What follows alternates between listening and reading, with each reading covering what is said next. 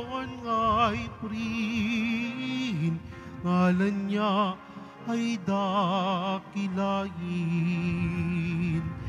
Panginoon, ikaw ang may likha ng langit, dagat at lupa, ng buwan, araw at nga bituin, tanang nilalang sa papawirin.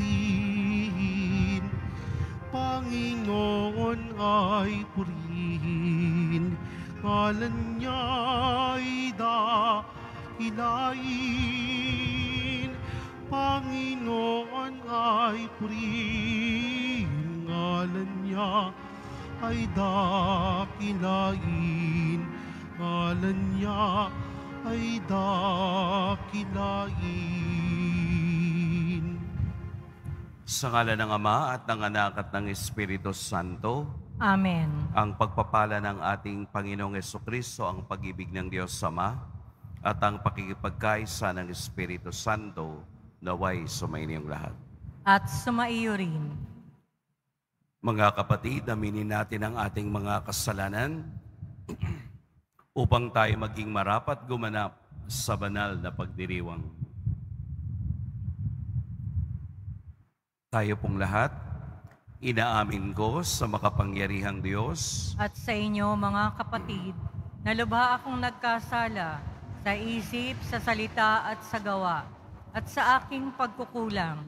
Kaya isinasamo ko sa mahal na Birheng Maria, sa lahat ng mga anghel at mga banal, at sa inyo, mga kapatid, na ako'y panalangin sa Panginoong ating Diyos.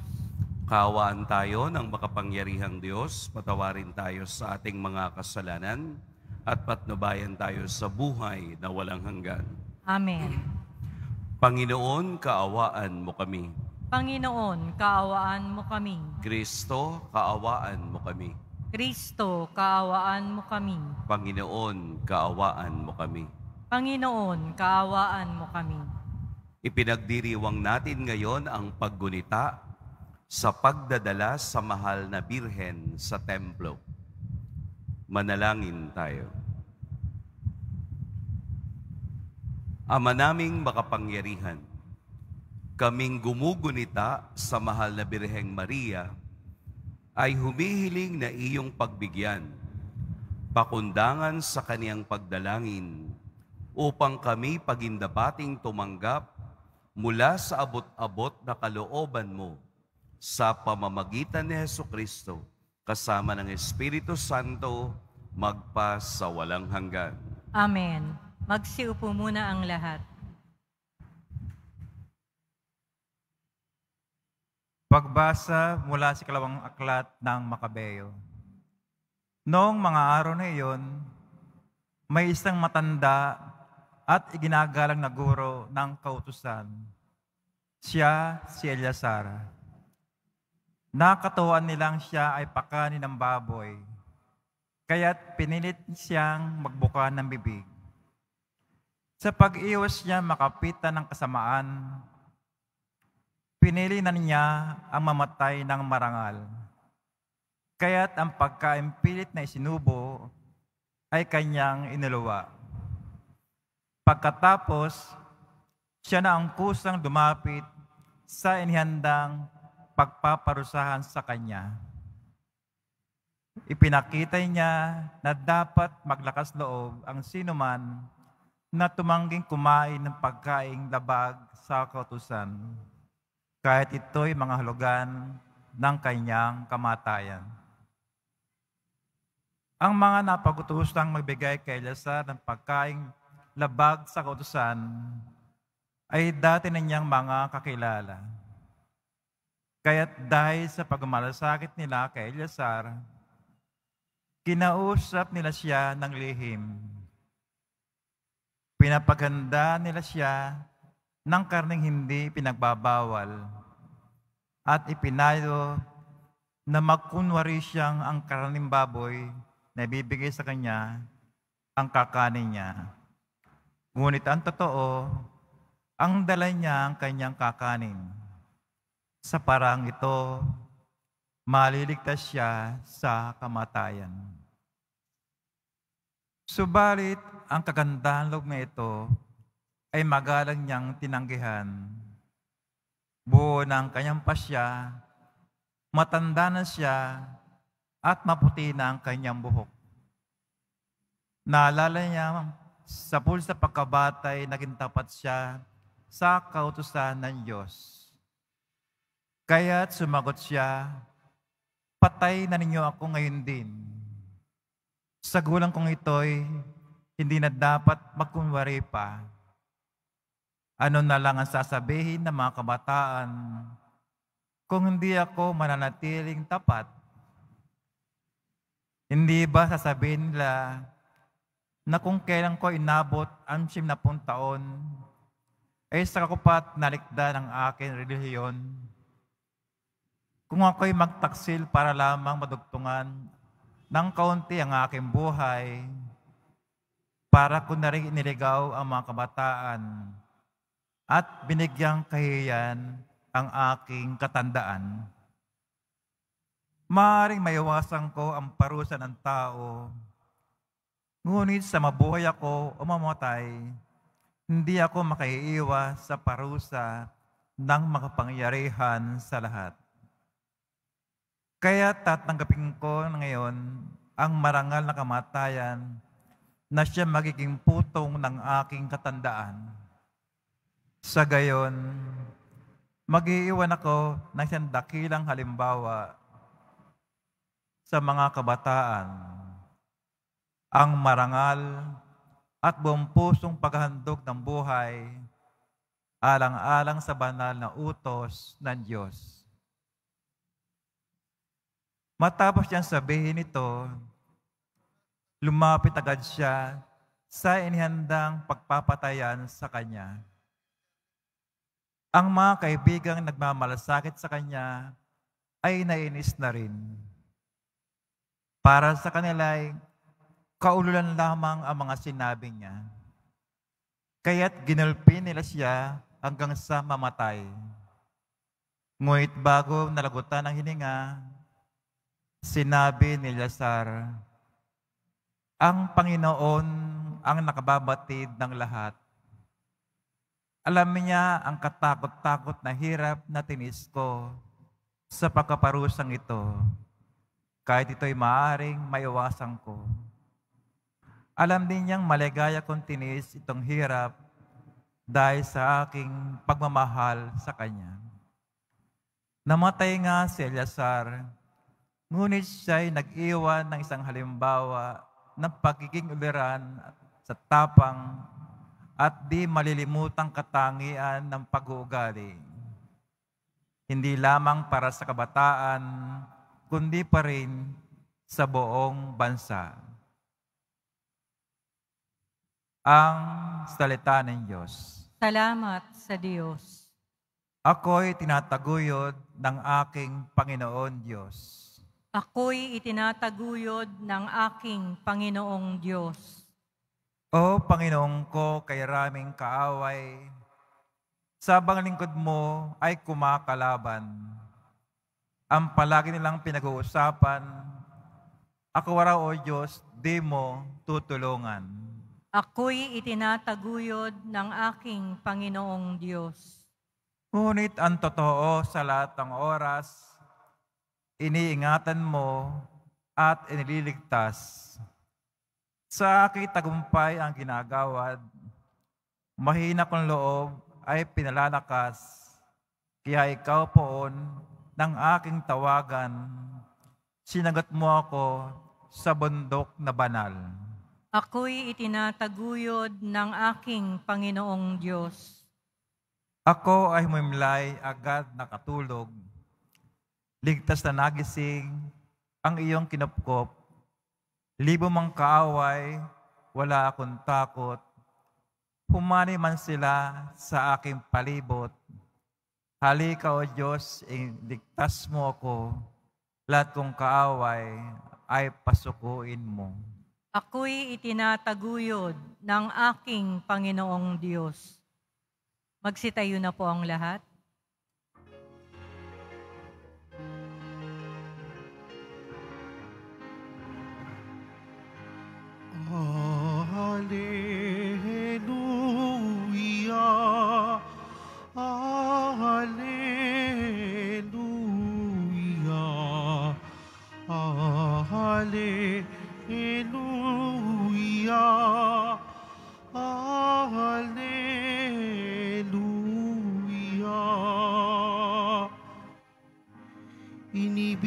Tayo ng Ama. Isinugo ang anak niya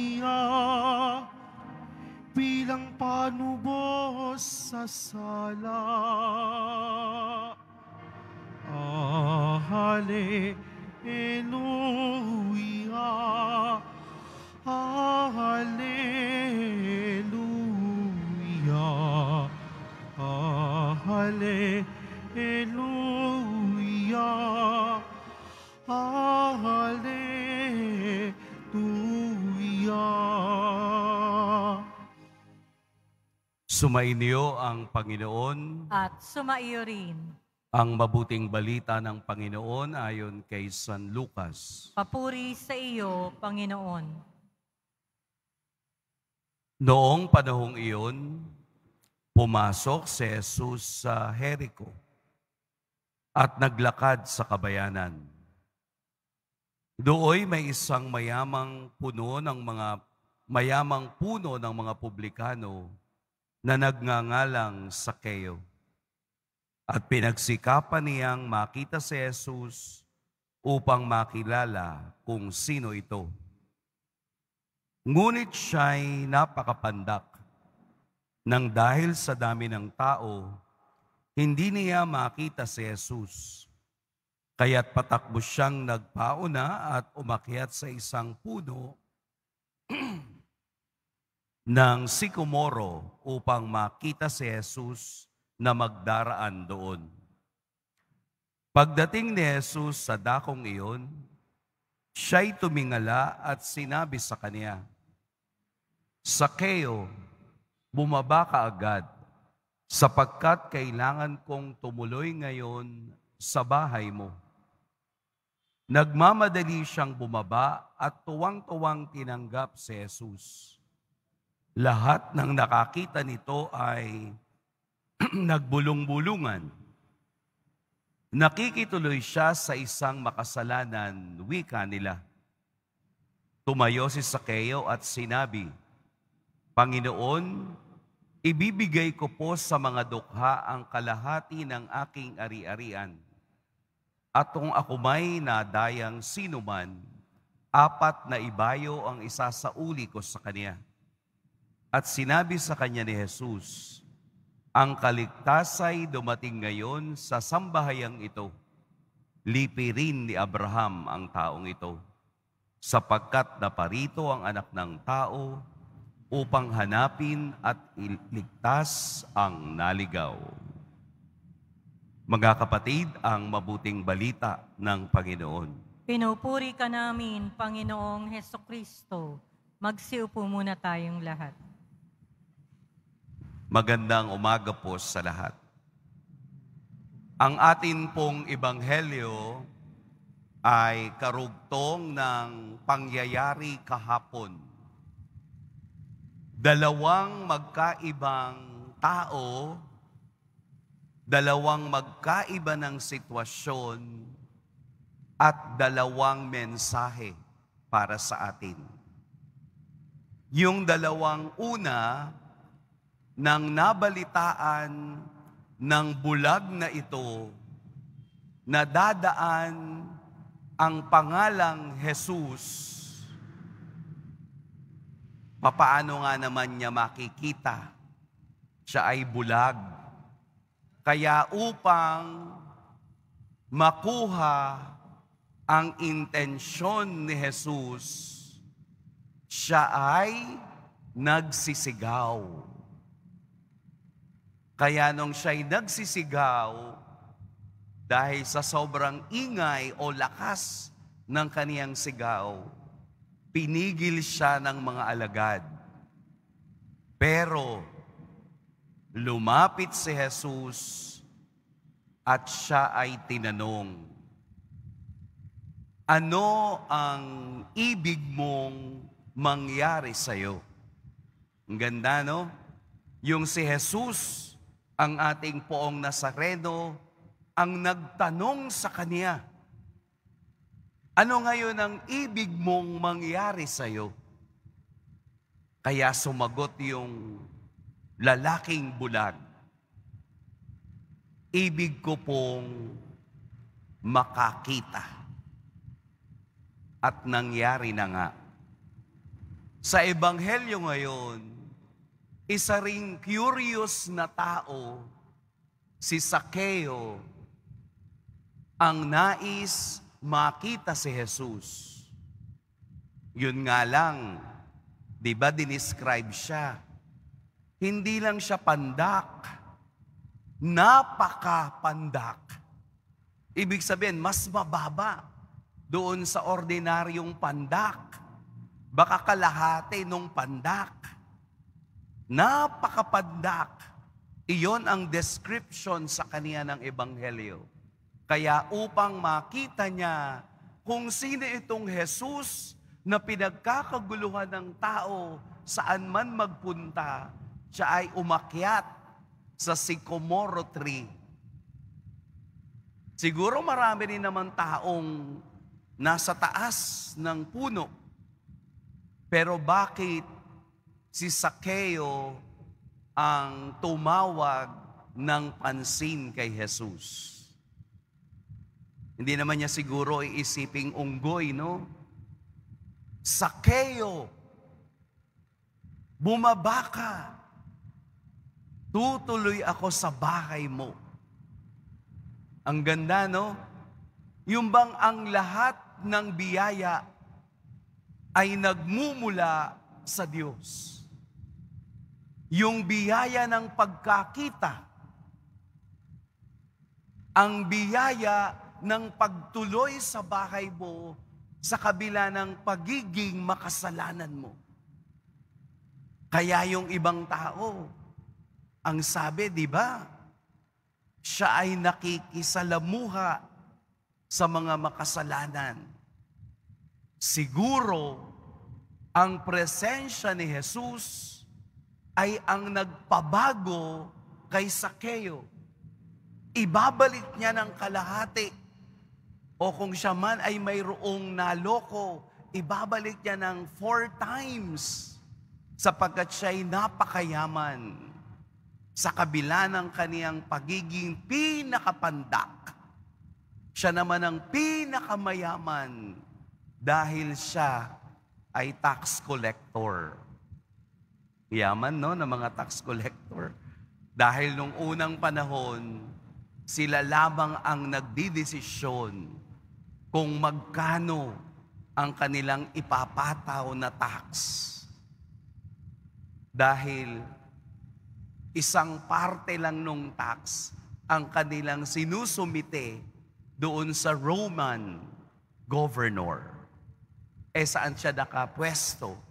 Para siyang nakapwesto sa major road, sa may Jericho, kung saan lahat ng mga kalakal ay dumadaan. Kaya kung gusto mong kumita ang kalakal mo, iyon, dadaan ka doon. Pero ang tax mo, times four. Ganun kayaman si Sakeo. Ano po ang gustong ibahagi sa atin ng Ebanghelyo? Na tayong lahat ay mga pandak. Ang mga taong maliliit ang pananampalataya sa Diyos ay pandak. Tayo ang pinakapandak kung hindi natin makikita ang kapangyarihan at awa ng Diyos. Pinapapandak tayo ng kasalanan. Pinaliliit tayo ng araw-araw nating kasalanan na kailangan nating umakyat sa sycamore tree upang makita si Jesus. Ang sycamore tree ay ang sakramento ng kumpisal. Aakyat tayo, hihingi tayo ng awa upang tayo'y makita ni Jesus at siya ay kumain sa ating bahay. Siya ay tumuloy sa ating bahay. Ganito magbigay ng biyaya ang Diyos. Siya ay tutuloy sa mga taong bukas magbago at bukas yakapin ang presensya ng Diyos. Ngayong araw, ating ipinagdiriwang ang pagtatalaga sa ating mahal na ina sa templo. Si Maria ay inialay sa templo bilang hudyat ng pagpapasimula ng misyong ibinigay sa kanya. Si Maria ang unang nakakita ng kapangyarihan at pag-ibig ng Diyos. Hindi siya nanatili sa kadiliman. Hindi siya naging bulag sa misyon at hangarin ng Diyos sa Kanya. Ang kaniyang buhay ay bukas na libro upang isulat ang kasaysayan ni Jesus at ang kasaysayan ng ating pagliligtas. Si Maria ay napakadakila. Hindi siya pandak. Siya'y napakadakila sa paningin ng Diyos dahil simula't simula pa, bukal ang kaniyang kalooban upang tumanggap at maging mababa sa paningin ng may kapal. Tayong lahat ay bininiyagan.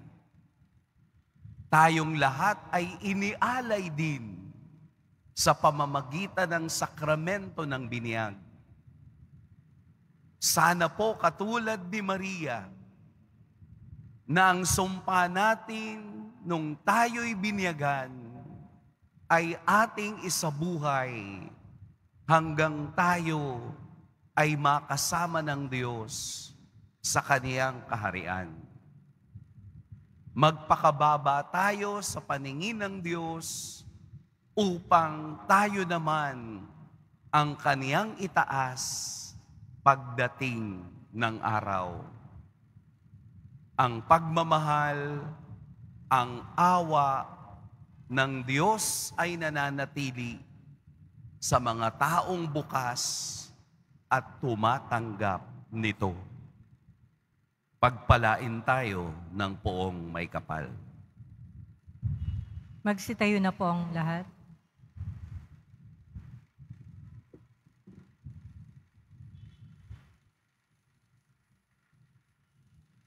Minamahal kong mga kapatid, sa araw na ito, sa paggunita natin sa pagdadala kay Maria sa templo, hilingin natin sa Ama na ipagkalob sa atin ang biyaya ng pagiging bukas loob sa pag-aalay ng ating buhay sa Diyos. Panginoon, baguhin mo kami upang maging katulad ni Maria, ang aming ina. Panginoon, baguhin mo kami upang maging katulad ni Maria, ang aming ina.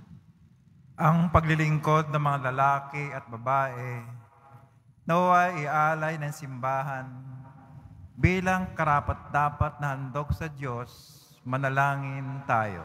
Panginoon, baguhin mo kami upang maging katulad ni Maria, ang aming ina. Ang lahat ng sumasampalataya kay Kristo, naway dinggin ang tinig ng Diyos na nananawagan sa lahat upang maging banal, manalangin tayo. Panginoon, baguhin mo kami upang maging katulad ni Maria, ang aming ina. Ang halimbawa ni Maria, naway magningning sa pamamagitan ng buhay ng mga taong itinalaga sa Diyos, manalangin tayo. Panginoon, baguhin mo kami upang maging katulad ni Maria, ang aming ina.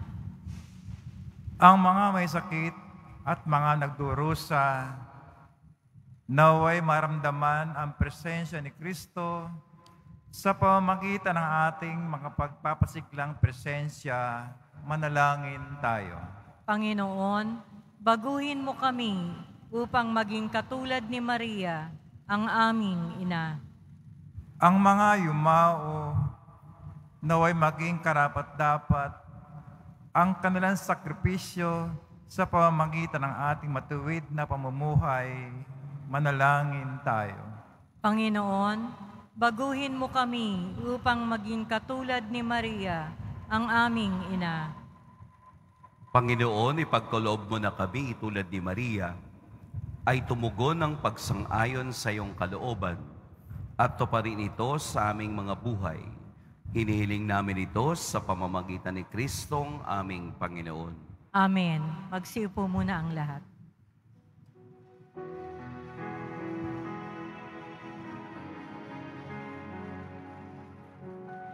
Itong alak at tinapay ay handog sa'yo, Ama.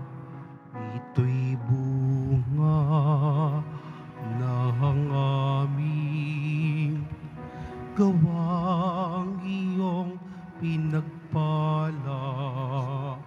Sumasamo ang iyong bayang tanggapit iyong basbasan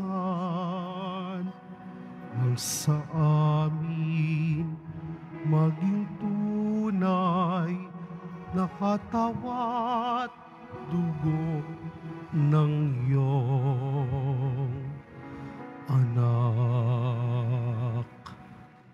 Magsitayo na po ang lahat.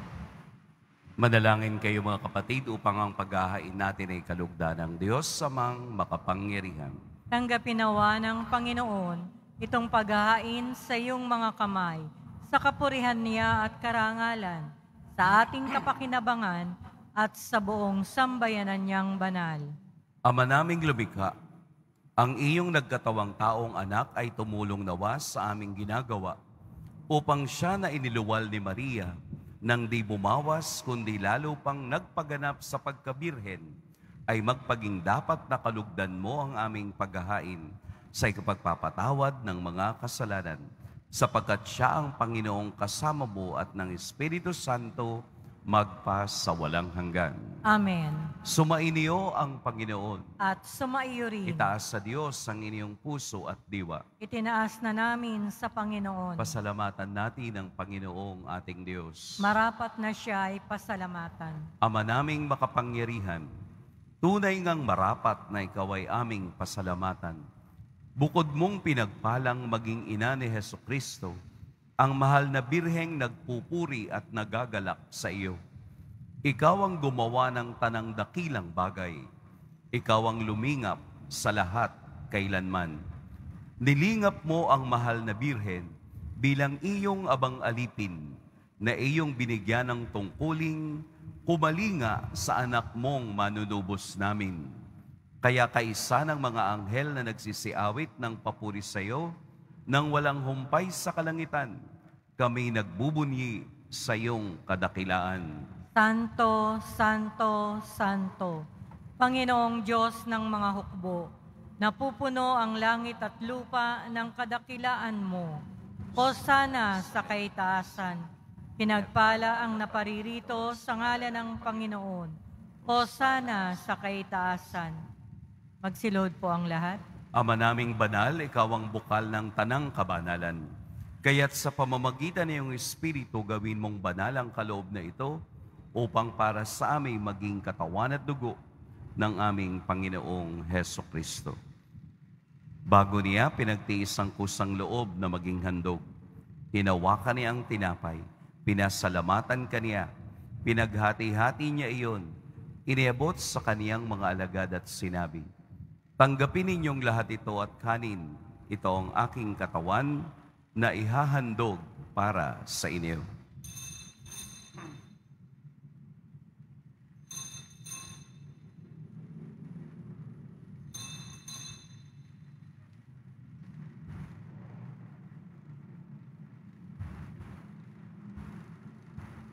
Gayun din naman noong matapos ang hapunan, hinawakan niya ang kalis, muli kaniyang pinasalamatan. Inabot niya ang kalis sa kaniyang mga alagad at sinabi, Tanggapin ninyong lahat ito at inumin. Ito ang kalis ng aking dugo, ng bago at walang hanggang tipan. Ang aking dugo na ibubuhos para sa inyo at para sa lahat, sa ikapagpapatawad ng mga kasalanan. Gawin ninyo ito sa pag-alala sa akin.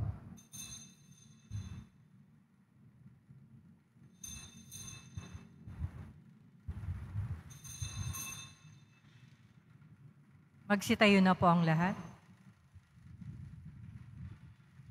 Ipagbunyi natin ang misteryo ng pananampalataya. Si Kristo'y namatay, si Kristo'y nabuhay, si Kristo'y babalik sa wakas ng panahon. Ama, ginagawa namin ngayon ang pag-alala sa pagkamatay at muling pagkabuhay ng iyong anak. Kaya't iniaalay namin sa iyo ang tinapay na nagbibigay buhay at ang kalis na nagkakaloob ng kaligtasan.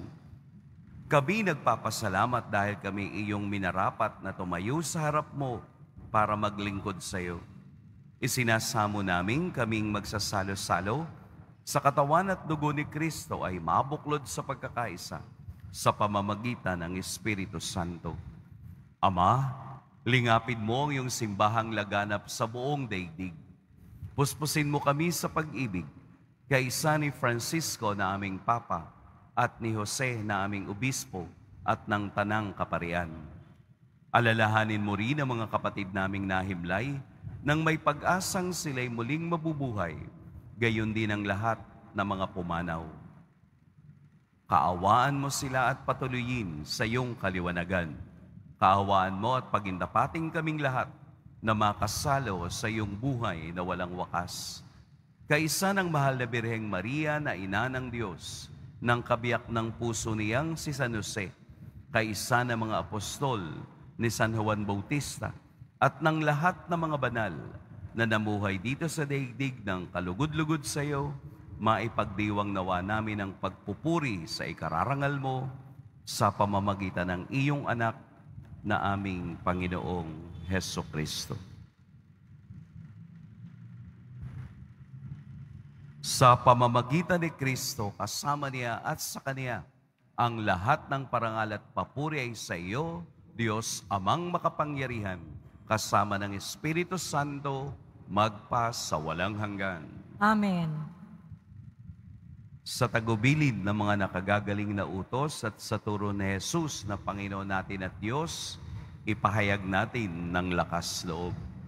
Ama namin, Sumasalangit ka, sambahin ang ngalan mo, mapasa amin ang kaharian mo, sundin ang loob mo dito sa lupa para ng sa langit. Bigyan mo kami ngayon ng aming kakanin sa araw-araw at patawarin mo kami sa aming mga sala para ng pagpapatawad namin sa nagkakasala sa amin. At huwag mo kaming ipahintulot sa tukso at iadya mo kami sa lahat ng masama. hinihiling namin kami iadya sa lahat ng masama. Pagkalooban ng kapayapaan araw-araw, iligtas sa kasalanan at ilayo sa lahat ng kapahamakan, samantalang aming pinananabikan ang dakilang araw ng pagpapahayag ng tagapagligtas naming si Heso Kristo. Sapagkat iyo ang kaharian at ang kapangyarihan at ang kapurihan magpakailanman. Amen. Panginoong Heso Kristo, sinabi mo sa iyo mga apostol, kapayapaan ang iniiwan ko sa inyo, ang aking kapayapaan ang ibinibigay ko sa inyo. Tunghayan mo ang aming pananampalataya at huwag ang aming pagkakasala pagkalooban mo kami ng kapayapaan at pagkakaisa ayon sa iyong kalooban, kasama ng Espiritu Santo, magpa sa walang hanggan. Amen. Ang kapayapaan ng Panginoon naway laging sumain iyong lahat. At sumaiyo rin. Magbigayan kayo ng kapayapaan sa isa't isa. Peace be. Kordero ng Diyos na nag-aalis ng mga kasalanan ng sanlibutan, maawa ka sa amin. Kordero ng Diyos na nag-aalis ng mga kasalanan ng sanlibutan, maawa ka sa amin. Kordero ng Diyos na nag-aalis ng mga kasalanan ng sanlibutan, ipagkaloob mo sa amin ang kapayapaan. Magsilod po ang lahat. Narito si Jesus ang ating kaliwanagan at kapatawaran. Ito ang kordero ng Diyos na nag-aalis ng kasalanan ng sanlibutan. Mapapalad ang inaanyayahan sa kaniyang piging. Panginoon, hindi ako karapat-dapat na magpatuloy sa iyo. Ngunit sa isang salita mo lamang ay gagaling na ako.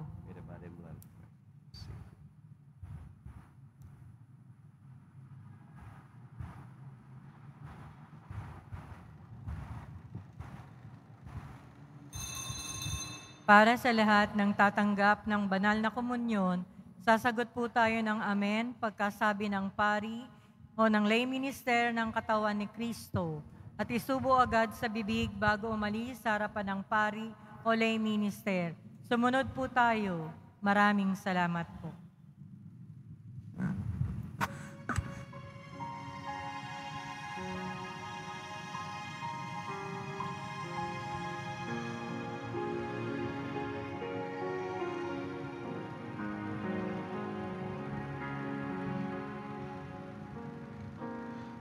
Gustate et videte Coniam suavis est Dominus. Beatus vir qui sperat Qui sperat in eo I will bless the Lord at all times.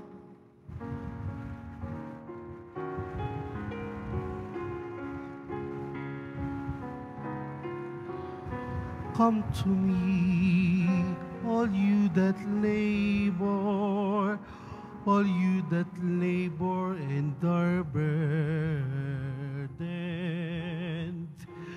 and I will give rest, and I will give you rest, says the Lord.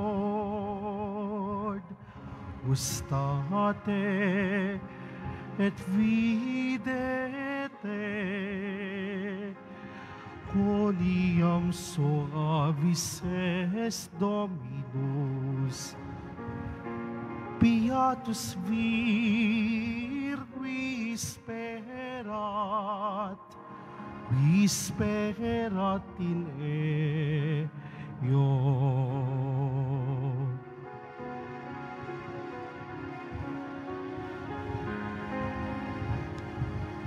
Gustate et videte, Coniam suavis est Dominus. Beatus vir qui sperat, sperat in eo.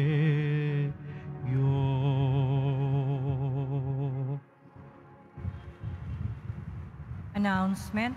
Available na po ang opisyal na kalendaryo para sa taong 2024 ng ating parokya. Sa mga nagnanais bumili, maaari kayong magtungo sa ating parish office. Ito po ay nagkakahalaga ng 80 pesos. May karagdagang discount sa bulk orders. Available pa rin po ang ating mga All Souls envelope sa mga nagnanais.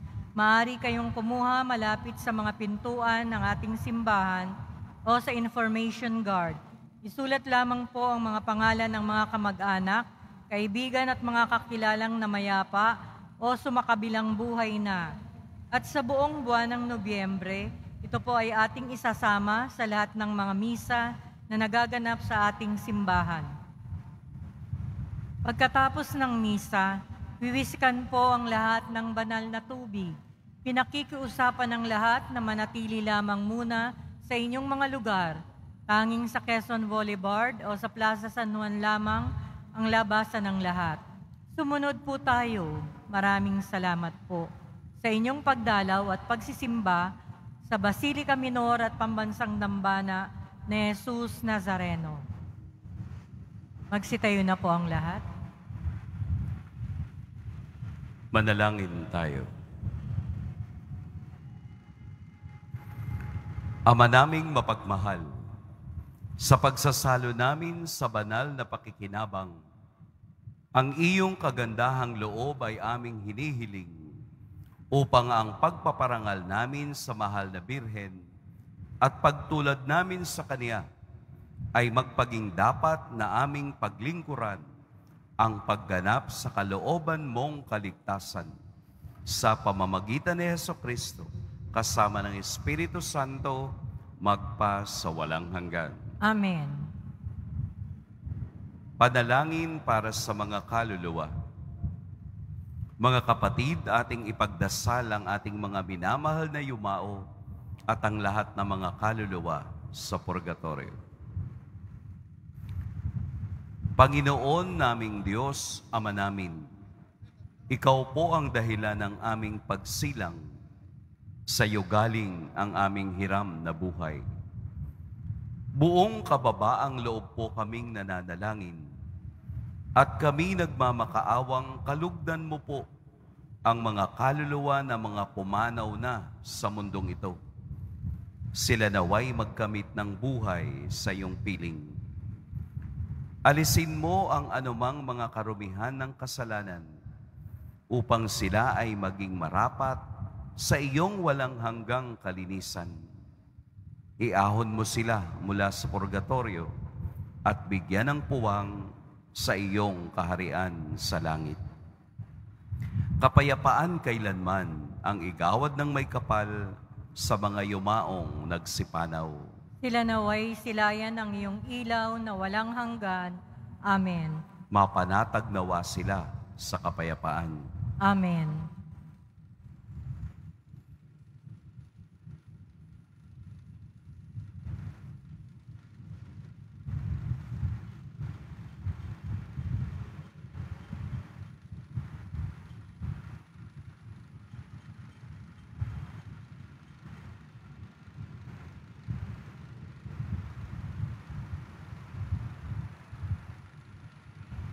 Sumainyo ang Panginoon, At sumaiyo rin. Yimuko kayo para sa pagbabasbas.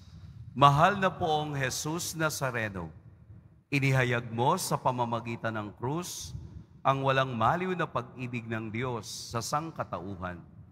Pakinggan mo po ang kahilingan ng iyong angkan na nagsusumamo sa iyo.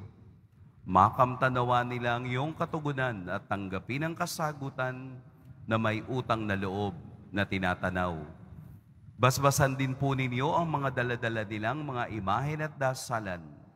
Sa pamamagitan ng bendisyon na ito, naway maalala nila ang pangako nila noon sa biniyag na ikaw ay kanilang iibigin at paglilingkuran bilang Panginoon magpa sa walang hanggan. Amen. At pagpalain kayo ng makapangyarihan at mapagmahal na Diyos, ang Ama at Anak at Espiritu Santo. Amen. Tapos na ang ating pagdiriwang, humayo kayong taglayang kapayapaan ng poong Jesus Nazareno. Salamat sa Diyos.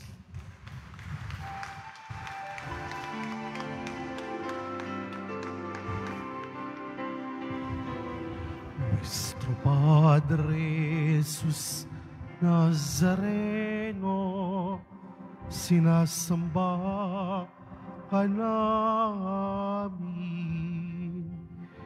Pinipintuho ka namin. Aral mo ang aming buhay at kaligtasan. Nuestro Padre Jesus Nazareno, idigtas mo kami sa kasalanan ang krus mong kinamatayan ay sagisag ng aming kaligtasan.